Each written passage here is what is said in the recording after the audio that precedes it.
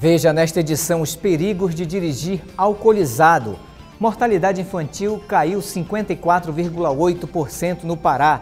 Direitos dos idosos são temas de uma programação especial em Belém. Universidade Federal do Pará aprova editar de processos seletivos.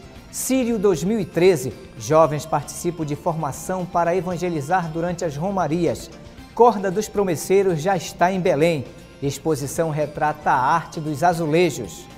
E Cidade de Bragança recebe incentivos para promover o turismo religioso. Hoje é segunda-feira, 23 de setembro, e o Nazaré Notícias já está no ar.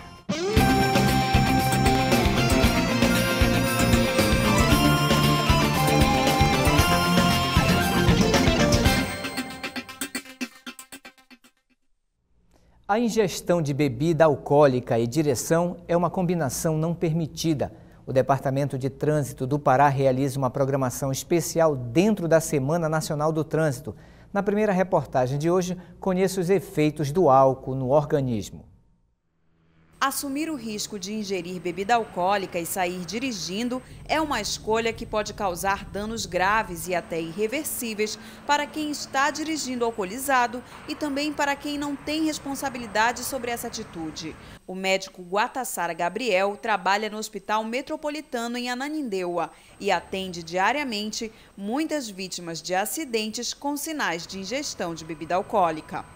Quando você tem uma quantidade em torno de 0,2, 0,3% miligramas, gramas né, por litro, ah, o que é que vai acontecer? Essa pessoa já começa a perder a noção de espaço, de distância, né? Aumentando essa concentração até 0,3, 0,5 mais ou menos, ela começa já a perder mais a acuidade visual, começa a ter uma vista mais turva. E acima de 6 miligramas, né, já é, da grama já é considerado é, é, crime, né? Já é uma, e já está realmente sem controle aquele, aquele ato da responsabilidade, né, aquela fase do euforismo, né, aumenta a velocidade, e o aumento da velocidade com a perda da atenção que o álcool dá, a perda da noção de espaço, de distância, é sinônimo de, de acidente de trânsito. Segundo o Código Nacional de Trânsito, deve ser penalizado o motorista que apresentar a partir de 0,6 gramas de álcool por litro de sangue, o que pode representar o equivalente a duas latas de cerveja ou duas taças de vinho. De acordo com o Detran, foram registradas no Pará, de janeiro a maio deste ano, 10.782 infrações do tipo dirigir sob efeito do álcool. No mesmo período, em Belém, foram registradas 1.646 ocorrências desse tipo.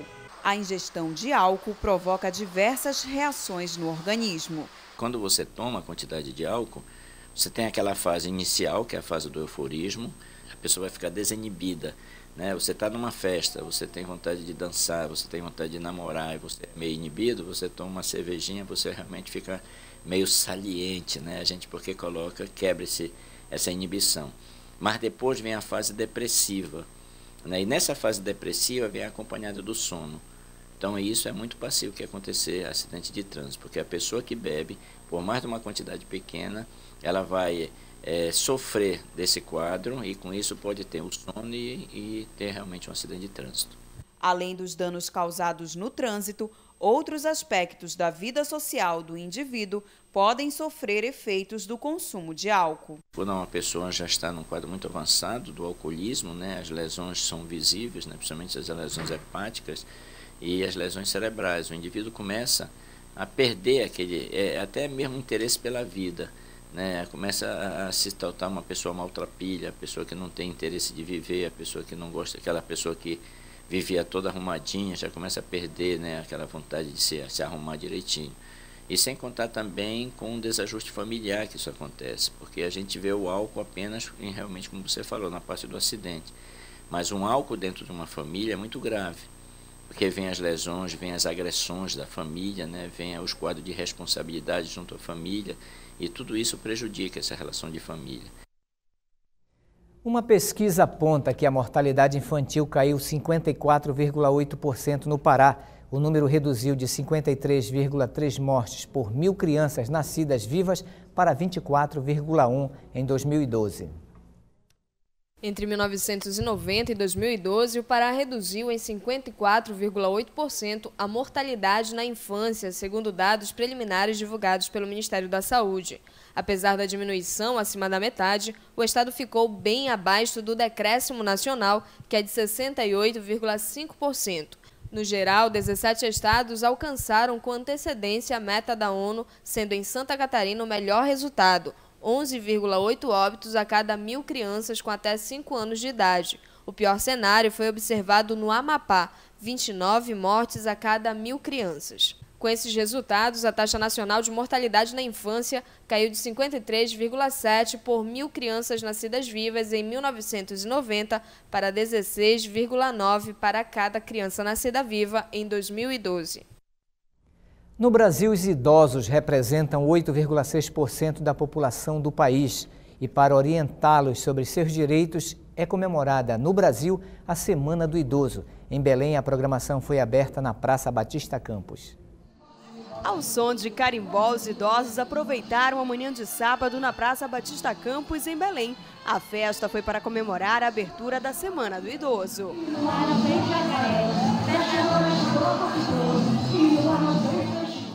Diversos serviços foram oferecidos, entre assistência médica, emissão de documentos e assistência jurídica. Na área de estética, Dona Leonor aproveitou para mudar o visual. Estava precisando aparar meu cabelo.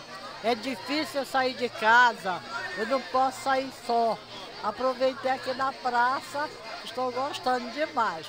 Os idosos mostraram que, mesmo na terceira idade, ainda há muito o que aprender. Nós tem que sair para dançar, fazer ginástica, fazer aeróbica, faz, aprender muita coisa na terceira idade. A gente aprende muitas atividades. É, esse negócio dos artesanatos, de várias, várias, várias coisas nós estamos aprendendo. Hoje mesmo eu aprendi a fazer aqueles laços para presente. Durante as oficinas de artesanato, muitos descobriram dois artísticos. Aos 67 anos, seu José Carlos ganhou inspiração e virou poeta. Compõe músicas católicas e conseguiu lançar um CD. Eu não imaginava, porque eu não tinha nenhuma tendência para isso. Foi assim que surgiu, de repente, é, veio esse dom, né? Eu senti aquela vontade, comecei escrevendo e, graças a Deus, conseguir fazer o CD. Os talentos são incentivados pela Pastoral do Idoso da Arquidiocese de Belém, que organizou a programação especial. As comemorações também marcam os 10 anos do Estatuto do Idoso, o conjunto de leis que garantem os direitos fundamentais e de cidadania das pessoas com mais de 60 anos mostrar para a sociedade que nós devemos nos preocupar com o próprio idoso, porque existe muita campanha para as crianças. A campanha para o idoso é muito pequena. Então a gente mostra aqui que o idoso tem vitalidade, que ele tem necessidade de diversão, tem necessidade de respeito e de reconhecimento. A pastoral existe em Belém há oito anos e realiza visitas domiciliares aos idosos com orientações sobre direitos e cidadania. Nós participamos muito da, da convivência familiar naquela conversa e muda muito, né? O tratamento tanto dos filhos como os netos, como dos vizinhos, aí melhora bastante para eles. E principalmente espiritualmente, né? O Dia Nacional do Idoso é comemorado em 1 de outubro. Em Belém, no âmbito municipal, as homenagens acontecem dia 27 de setembro.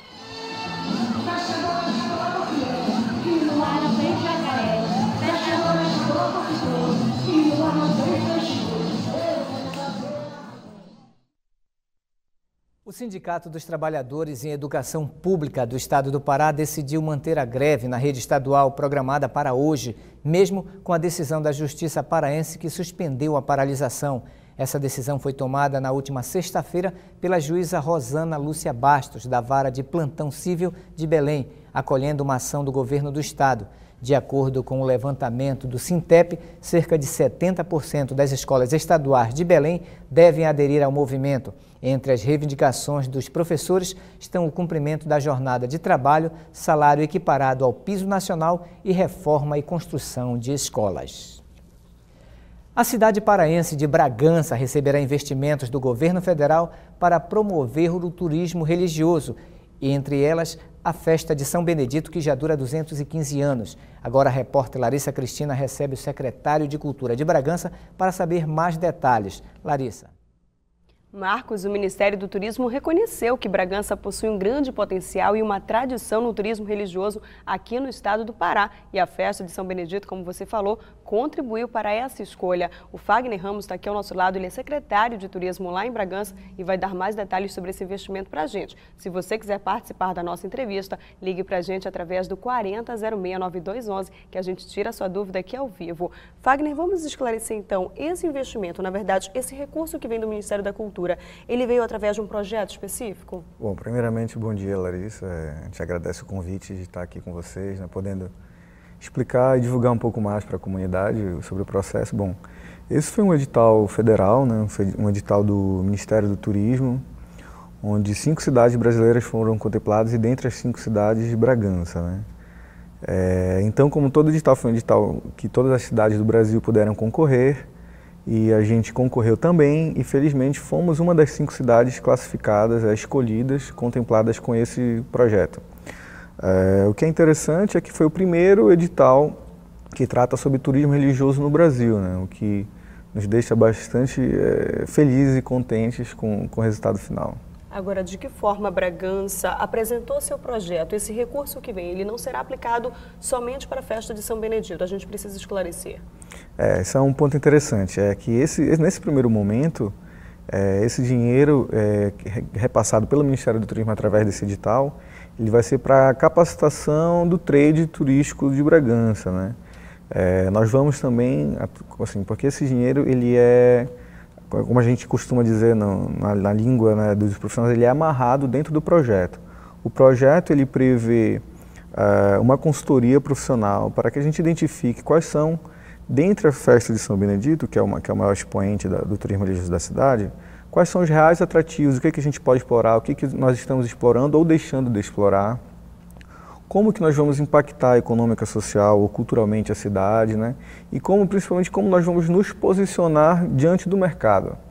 Né? Então, esse, esse primeiro passo, esse primeiro processo, ele é nesse sentido, de capacitar os profissionais, né? Nós vamos estar formando um comitê gestor misto, de, é, junto com pessoas públicas, da gestão pública, e pessoas da sociedade civil.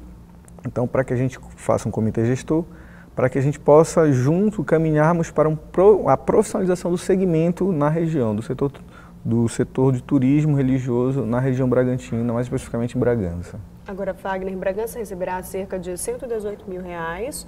Essa verba, ela já tem prazo para ser entregue? Esse projeto já tem prazo também para ser iniciado esse processo? É, como todo edital, né, a gente tem que cumprir prazos é, e metas também para fazer a prestação de contas. Então, é, esse primeiro, essa primeira etapa ela vai ser desenvolvida toda agora, ainda esse ano, começando em novembro, né, com oficinas de profissionalização, com a consultoria de uma empresa que a gente ainda não sabe qual é que nós vamos contratar para nos auxiliar justamente nesse posicionamento, identificação e posicionamento, diagnóstico né, do turismo e posicionamento do nosso produto turístico diante do mercado. Então isso a gente tem que fazer agora até no máximo janeiro deste ano, então que é o prazo da nossa festa, né, que é a festa maior que é a festa São Benedito, para que a posteriori, assim, a partir de janeiro nós possamos fazer a nossa prestação de contas. Então é tudo assim, o edital não tem como muito fugir, a gente é, entra no edital e já vem tudo amarradinho. O dinheiro ele vai ser tantos por cento para fazer umas oficinas, tantos por cento para consultoria, e dentro de cada atividade nós temos os prazos para que a gente possa realizar cada etapa.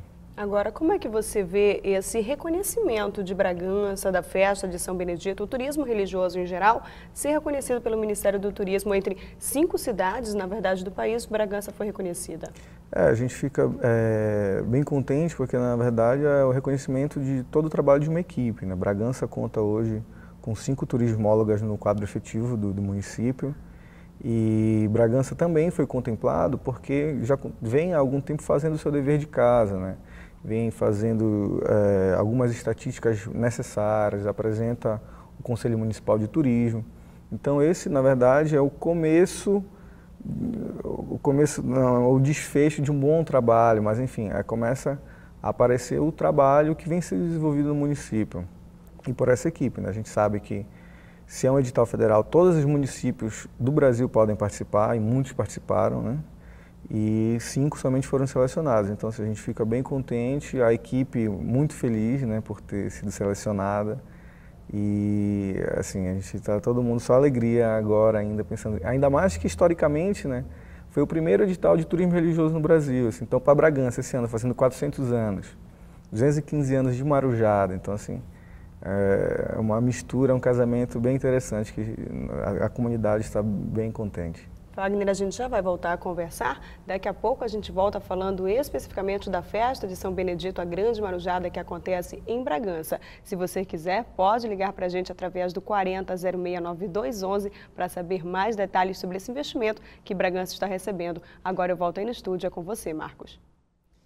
O Senado aprovou o projeto de lei que regulamenta o direito de resposta na imprensa brasileira.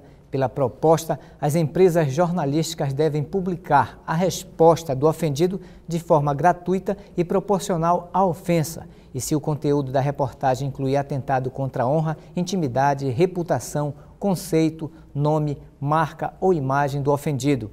E o ofendido tem o prazo de 60 dias para apresentar o pedido de direito de resposta. O projeto segue para a aprovação e votação na Câmara. O Conselho Superior da Universidade Federal do Pará aprovou os editais dos processos seletivos 2014 e da recém-criada Universidade Federal do Sul e Sudeste do Pará, a Unifespa. A repórter Patrícia Nascimento tem mais informações. Marcos, as inscrições começam dia 30 de setembro e seguem até o dia 22 de outubro. Estudantes que cursaram todo o ensino médio em escolas públicas estão isentos do pagamento da taxa de inscrição. A Unifespa e a UFPA terão como única fase de seleção para o ingresso nas instituições o Enem. Para obter mais informações, você pode acessar o site www.fpa.br/cepes. Patrícia Nascimento para o Nazaré Notícias. E ainda falando sobre educação, a Universidade do Estado do Pará promove o segundo colóquio de estética entre os dias 24 a 26 deste mês. O evento acontecerá no auditório do Centro de Ciências Sociais e Educação da UEPA, no bairro do Telégrafo, a partir das 7 horas da noite. As inscrições são gratuitas e estão sendo realizadas através do e-mail artequestão.gmail.com e haverá um ciclo de palestra com João de Jesus Paz Loureiro, Renata Pereira e o professor Alonso Júnior. E você acompanha ainda nesta edição Sírio 2013. Jovens participam de formação para evangelizar durante as romarias. Exposição em Belém retrata a arte dos azulejos. E Bragança recebe investimentos para o, turismo religioso. Nós voltamos em dois minutos, não saia daí. E agora vamos falar do Sírio de Nazaré. A corda um dos símbolos de devoção da festa mariana, chegou a Belém. O ícone é fabricado em Santa Catarina e levou cinco dias e meio para chegar à capital paraense. Ela está presente durante a trasladação e o Sírio. Atrelada à berlinda que guarda a imagem de Nossa Senhora de Nazaré, está a corda e com ela uma multidão fervorosa.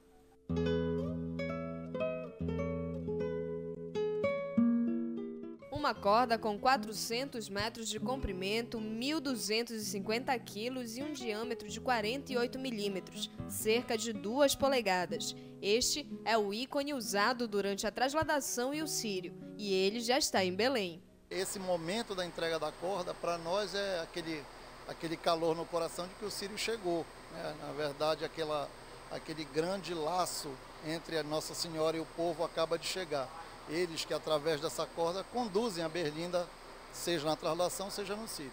Este é o segundo ano que uma empresa de Santa Catarina produz a corda do Sírio. A corda foi comprada pela diretoria da festa e o transporte foi uma cortesia de uma empresa paraense de transportes. A viagem de Santa Catarina até Belém durou cerca de cinco dias e meio. Essa corda após é, toda pronta, embalada, a transportadora que já nos cede anualmente, de, por devoção, esse frete ah, recebe essa corda, traz até São Paulo, lá faz uma troca de caminhão e, e de lá vem de São Paulo até Belém. É, chegando aqui, eles colocam num carro menor para questão do trânsito da cidade, na ajuda no, do, do trânsito, né? diminuir o impacto no trânsito, traz a corda até aqui o centro social. Segundo o DIEESE, 10 mil mãos conseguem entrelaçar os 400 metros de extensão da corda. Mas para o povo paraense, esse número se multiplica N vezes mais.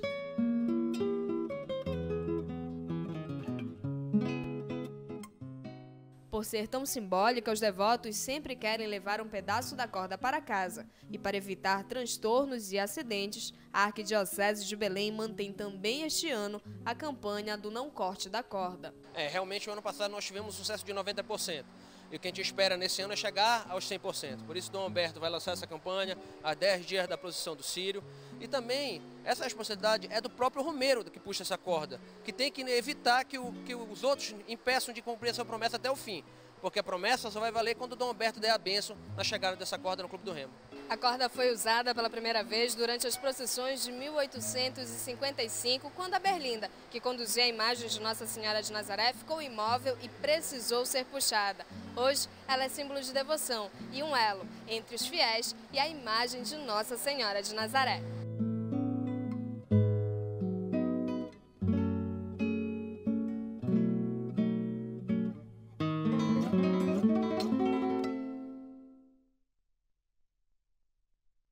E ainda falando sobre a corda e o sírio, neste final de semana, os jovens que irão evangelizar os promesseiros da corda da trasladação participaram de um encontro de formação.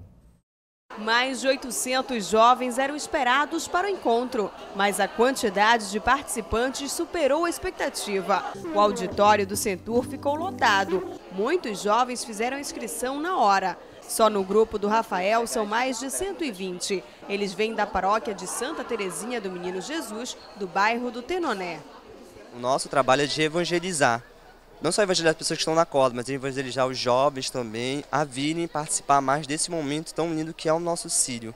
Né? Então ajudar aquelas pessoas que, que estão com as suas promessas para serem cumpridas. Né? A gente sabe que é um desafio muito grande, né? E a gente está ali ajudando como a gente pode, seja dando água, seja dando apoio, seja cantando e muito mais, seja animando aquele, aquela pessoa que está ali para conseguir conquistar, fazer aquela sua promessa valer, né? que é chegar até o final da sua jornada ali.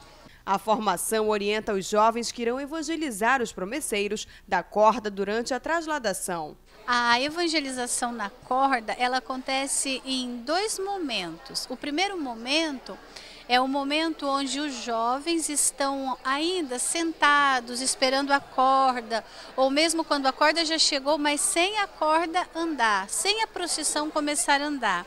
Um segundo momento, e esse é o grande desafio e a grande novidade do Sírio de Nazaré, que é a evangelização durante a procissão da trasladação, quando a corda começa a andar. Então, o que nós orientamos os jovens nesse momento é que eles ajudem dando água, abanando, ajudando que a pessoa fique na corda, que a pessoa pague a promessa. A formação é ministrada pelas comunidades católicas de Belém. Podem participar jovens maiores de 16 anos enganjados na igreja.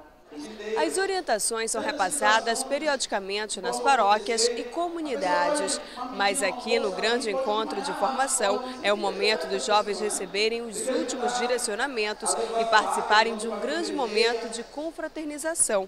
Depois daqui, no dia 7 de outubro, eles se encontrarão novamente, onde irão receber o kit do evangelizador, que contém a camisa de identificação e o manual de instruções. Para a diretoria do Sírio, esta é a oportunidade da juventude missionária atuar em mais uma missão. O grande objetivo desse encontro é levar os jovens a uma consciência plena do trabalho que eles vão realizar.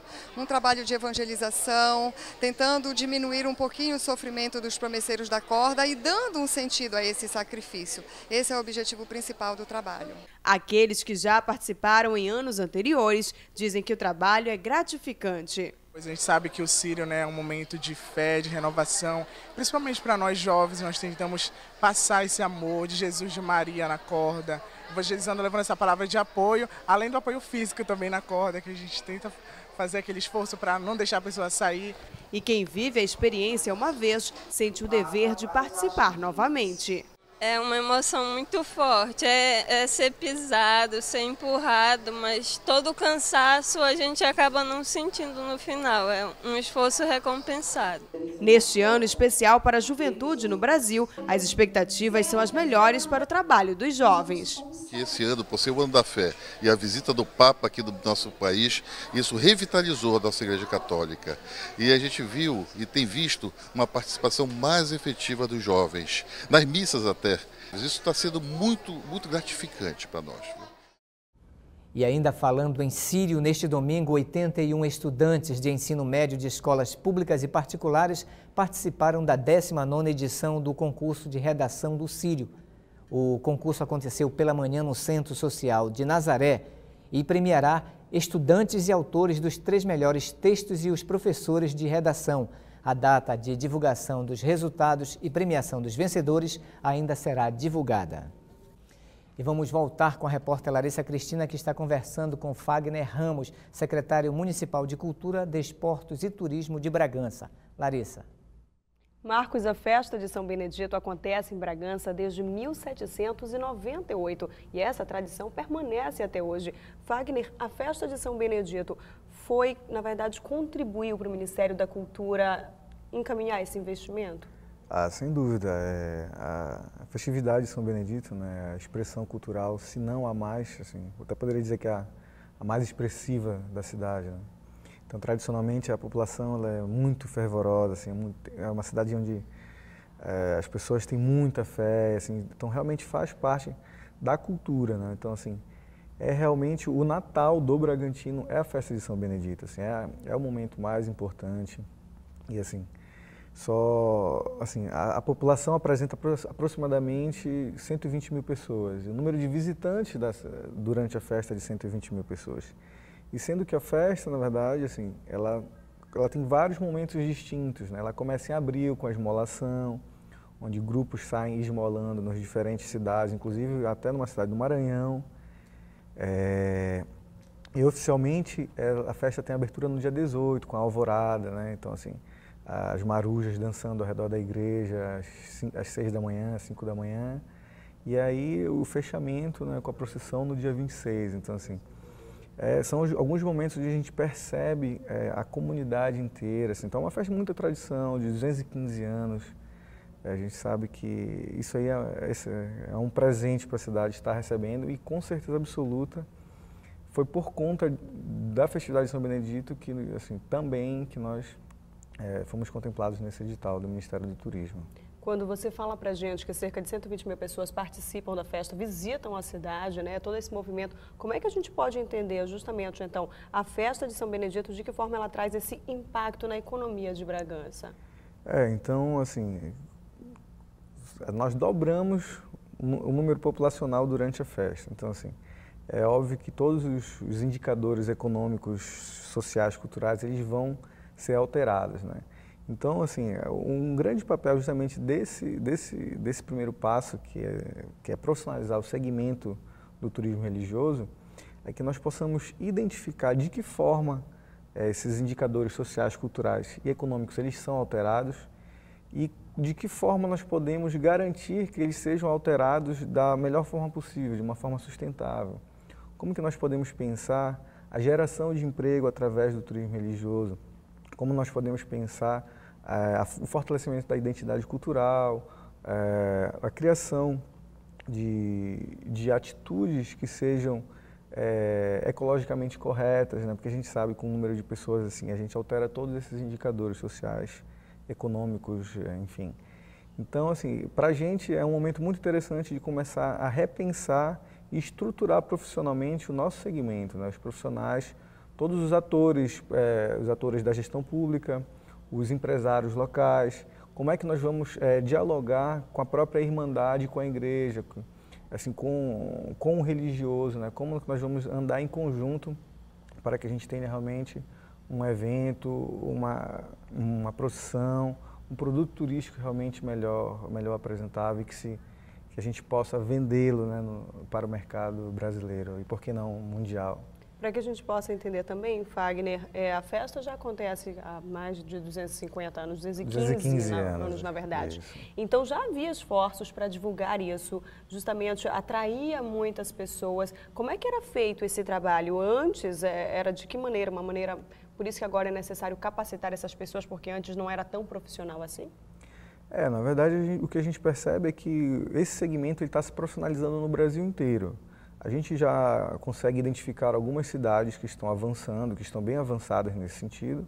E aqui na região norte, de uma forma geral, a gente percebe que o segmento do turismo e principalmente do turismo religioso, a gente precisa ainda de profissionalização, profissionalizar ainda mais os diferentes atores, como eu falei, tanto os profissionais é, da cadeia privada como os gestores públicos e dialogar também com a igreja. Né? Então, para a gente é fundamental que a gente é, consiga dar esse passo à frente, né? que a gente consiga. Até porque também a gente percebe que para que a gente consiga pensar em turismo, em turismo sustentável, a gente precisa de pessoas capacitadas pensando junto com a gente. A gente precisa de uma participação ativa da sociedade civil, em conjunto com o poder público e a iniciativa privada, pensando junto como que nós vamos dar esse passo para frente, né? esse passo realmente pensando no melhor para a comunidade bragantina por que não falar na comunidade paraense, né?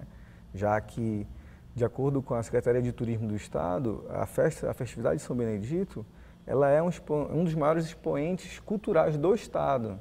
Então, assim, para a gente é muito importante, é de suma importância estar participando desse processo. Fagner, obrigada pelos seus esclarecimentos, pela sua entrevista. E a gente lembra que a festa de São Benedito em Bragança acontece anualmente durante o mês de dezembro. Agora eu volto aí no estúdio. É com você, Marcos. Na última semana, 55 empresas foram autuadas por crimes ambientais durante uma operação da Secretaria de Meio Ambiente do Pará. E, de acordo com a SEMA, as empresas fraudavam crédito florestal ao repassarem madeira de origem ilegal. O crime foi confirmado quando a equipe visitou áreas de manejos florestais com relatórios produzidos pela sala de monitoramento, contendo a análise das imagens de satélite e os dados de comercialização de crédito. A SEMA também confirmou várias irregularidades na execução do plano de manejo. Neste domingo, a Pastoral da Criança promoveu uma caminhada pela paz. O evento aconteceu em comemoração aos 30 anos de sua história. Tudo começou assim, com a simples ação de dar as mãos e caminhar juntos. Esse é o trabalho da Pastoral da Criança, caminhar junto com as famílias para garantir os direitos básicos de um ser pequeno e indefeso. A gente orienta as famílias sobre todas as ações básicas de saúde, nutrição, cidadania e educação. 14 paróquias se fizeram presentes na Caminhada pela Paz, nas faixas que traziam imagens e palavras sobre medidas que devem ser tomadas para garantir a vida das crianças. A Pastoral da Criança surgiu há 30 anos no Brasil e 28 aqui na Arquidiocese de Belém. Um trabalho que começou a partir da necessidade de informar as famílias sobre medidas simples, mas que salvam a vida de milhares de crianças. Para mim, a vida é um alicerce. Está ajudando pessoas que precisam muito de mim, a luta é muito grande, né? Nós temos muita dificuldade de voluntários, mas a gente está na luta aí, ajudando a salvar vidas. É tudo, é uma coisa que fortalece a nossa própria vida. Cada paróquia tem uma pastoral da criança. São muitos os voluntários, mas sempre há trabalho e a necessidade de mais operários. A maior demanda aqui é líderes. Nós temos só, nós estamos com nove líderes, mas nós pedimos para que as pessoas que se interessem, não precisa ser católica, é a pessoa que tenha boa vontade, que lute pela parte social, que a pastoral da criança, o lema dela é para que todas as crianças tenham vida, e vida e abundância. Porque a criança, quando começa desde criança, quando ela chega à adolescência, se ela tiver uma boa educação, uma boa formação, ela tomar as vacinas necessárias, a educação e a saúde, ela vai conseguir ser um bom cidadão.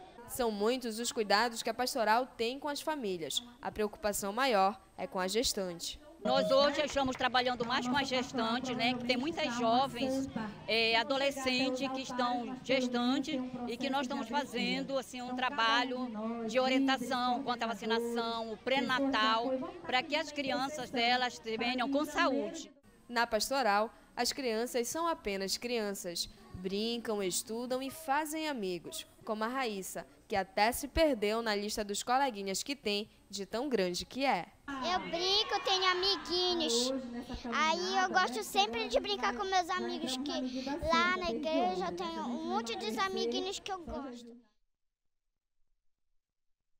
De hoje até o dia 29 de setembro, em todo o Brasil, acontecerá a sétima Primavera dos Museus. O tema deste ano é Museus, Memória e Cultura Afro-Brasileira. Em Belém, o Museu da UFPA oferece oficinas, palestras e apresentação de dança e música. A Primavera dos Museus é realizada desde 2007 e é uma ação conjunta entre o Instituto Brasileiro de Museus e instituições museológicas de todo o país. Mais informações você encontra no site da UFPA. E também no Museu da UFPA, uma exposição retrata a arte dos azulejos. Os trabalhos foram organizados pelo Laboratório de Conservação, Restauração e Reabilitação da Universidade.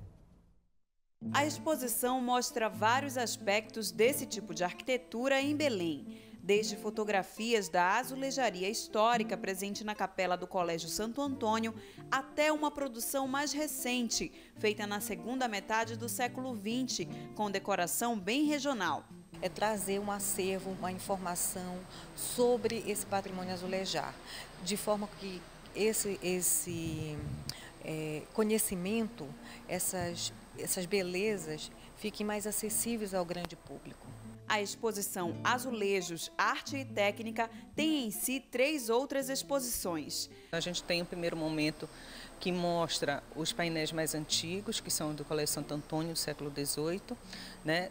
e também as fachadas mais antigas de Belém. Depois a gente tem um outro momento que mostra um pouco dos exemplos, é, os exemplares dessa azulejaria que é tão importante. Então a gente tem duas coleções aí, uma que é do Lacore e outra que é parte da coleção do Geraldo Correia e que mostra exemplares de azulejos portugueses, azulejos franceses, alemães e que são peças bastante importantes para a nossa cidade aqui.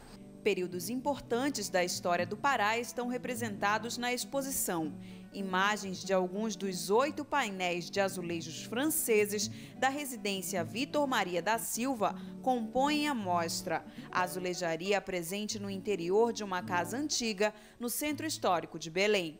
Vitor Maria da Silva era engenheiro e coordenou importantes obras como as reformas do Teatro da Paz e do Palácio do Governo em 1904, durante a gestão do governador Augusto Montenegro. Segundo as informações da exposição, a antiga casa de Vitor Maria da Silva é um exemplar material do poder aquisitivo da elite belemense do início do século XX, período em que se viveu uma economia fruto do auge da exportação do látex da borracha.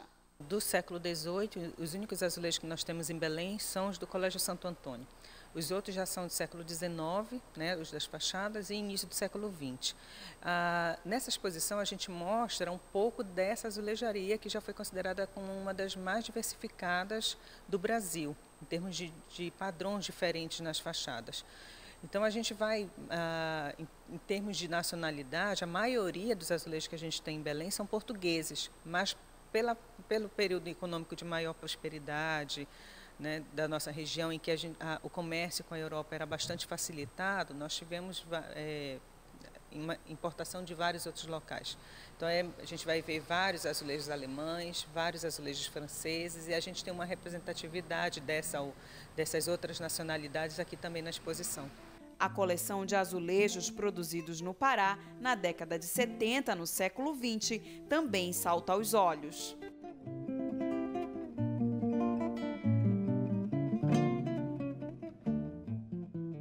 Preservar esse patrimônio ainda é um desafio. Nós temos é, técnicas adequadas para fazer a recuperação desses, desses elementos importantes da nossa memória e também a produção de réplicas. Então é um trabalho que a pessoa bem intencionada, ela pode primeiro ir aos órgãos de preservação, IFAM, FUMBEL e SECULT. Todos eles têm condições de direcionar para que se faça adequadamente a conservação desses elementos.